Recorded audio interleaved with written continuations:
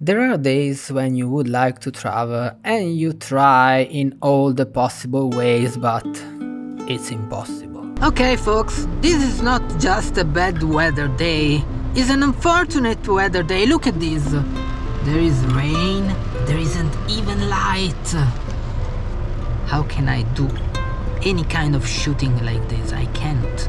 I simply can't. So, I have an idea, yes, I hope it will be good, I don't know. So, let's see. Yes, this was one of those horrible days, but before we talk about it, watch folks, I'm Lawrence and my aim is to show you many places around the world from my curious human perspective.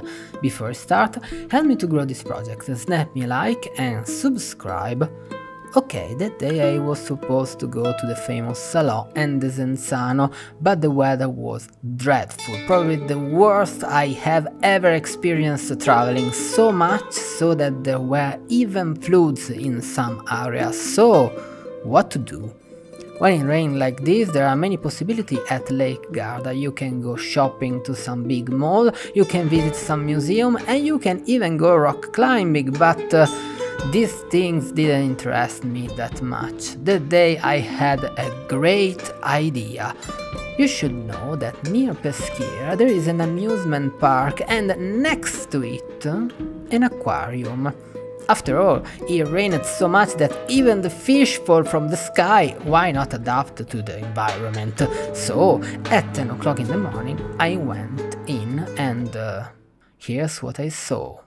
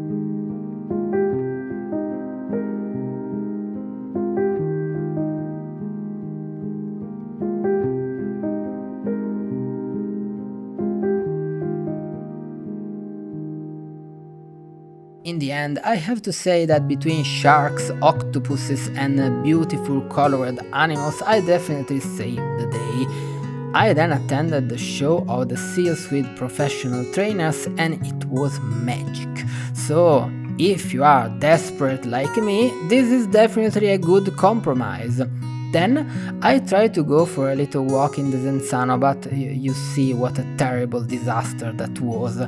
The next day I would have been luckier, but uh, that's another story, and in the end I learned an important lesson from that experience, which was that if there is too much water, you better figure out where the fish are.